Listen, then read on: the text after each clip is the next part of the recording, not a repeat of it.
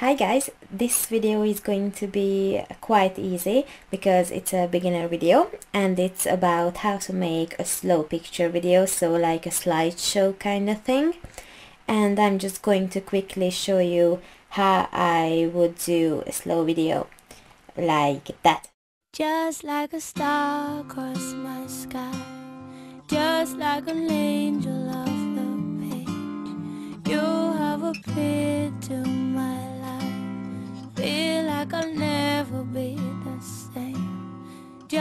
So let's go into the program. And first thing you want to do is actually choose a song and then import it into Vegas. So when you have a slow song you are going to need to change your pictures um, when the words change maybe or the or when the next line comes in. So let's listen to um, this song Just like a star across my sky. Just like an angel off the page so with this I'm going to decide where I'm going to change my pictures. And the first is easy because it's going to be when the uh, singing starts. So right here. Just like but we are going to need to fade that in so it's not too um, harsh or quick. And then we are going to need to decide when it's going to change into the next picture. So let's listen. Just like a star across my sky. So I'm going to want it to be about here. So when it says Just like a star. star so we are going to drag the next picture to the place where we want the change to be about there. And the last one is going to be Like a star across my sky. right here when she says sky. So bring the third picture right here. Make them uh, transition. And now we are going to just look if it fits the um, song. Okay so you can see already that it comes in way too early. So let's change that like this. Just like a star across my sky. And maybe adjust it a little bit more like this. Alright so when you have your pictures changing when you want them to be click on the event pan crop icon right here. Right click and match output aspect if you want a full screen effect. And um, when I make slow videos I try to change up how I move them so for example, you can zoom in, you can move it up or you can move it down or you can zoom out. You can also rotate the picture a little if you want to. So for example, with this I'm going to move it down a little and make sure that you don't uh, move it too much so because it can be too much for the eyes. So I'm going to show you what I mean about that but for now I'm going to pan crop these pictures. So again right click match output aspect with this I'm going to zoom in. So let's go to the end and zoom in. And with the last one I'm going to place it right here and then move it upwards maybe like this. And uh, let's play it back. Right now I'm highlighting the part that I want to play back and then pressing shift B so it loads in and it won't lag that much. Just like a star across my sky. Okay maybe I'm going to move this a little earlier.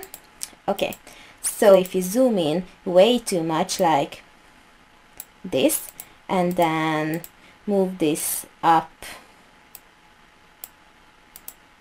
this much and then let's make this one move too fast too just so you get the effect what I meant.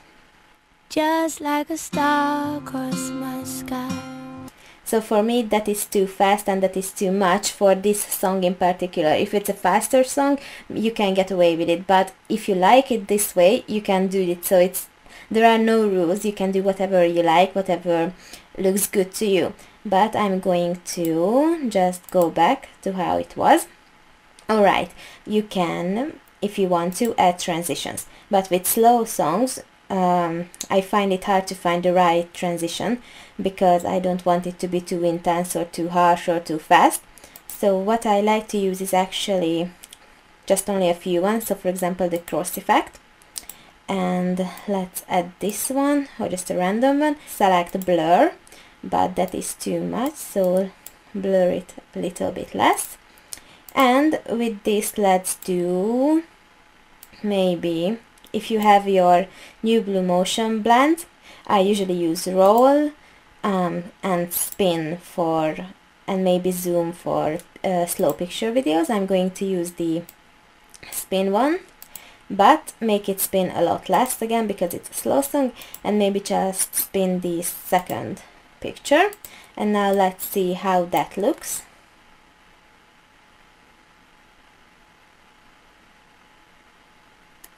Just like a star across my sky. Okay maybe I'm going to just reduce this a little bit like that. And you can add the coloring. I already applied a coloring here so I'm going to right click and click enable all so you can we can see this if you don't know how to make coloring uh, I already have a tutorial on that one and I'm going to link that in the description box below. And with the coloring it will look a lot better because coloring can add so much to the video. Just like a star across my sky. Try to use high quality pictures when you do slow videos because most of the time you are going to be zoomed in because you are going to make it to full screen. So if it's a lower quality picture it's going to be very uh, grainy and not so pretty. When you have your pictures edited so the video basically edited you are going to need to render it out. So I have the sequence that I have made right here.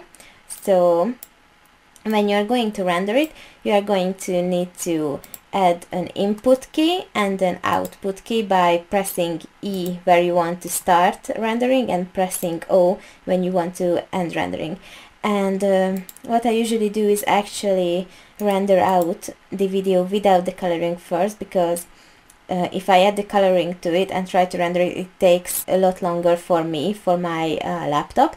So I'm going to click on this render as icon. And I usually render in MP4 and I have my settings like this. So uh, HD resolution, my frame rate is 29 and my bitrate is uh, 8 million. So I, ju I just click save and when it renders I'm going to add another track make only this one visible and I'm going to quickly import that import in that rendered out uh, video. So let's drag this one here. I'm going to remove the audio track of this rendered out uh, video. And then I'm going to add the coloring so enable it enable all and then render out it again. And after that you are going to have the rendered out video with the coloring on and there you have your video you can also add overlays if you want like flashing lights or something. And I'm going to quickly show you how that works. So I import in the already done video and then add another track. And I'm going to quickly look for an overlay. Let's add this one. Put it on top remove the audio track of the overlay and change the compositing mode to screen like that. And I'm going to show you how that looks.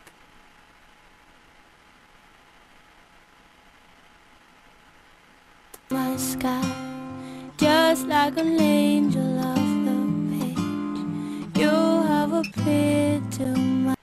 so obviously this overlay is a little too much for this video but you get what I mean. So just add the overlay to another track and set it to either screen or maybe add or either what else? Lighten.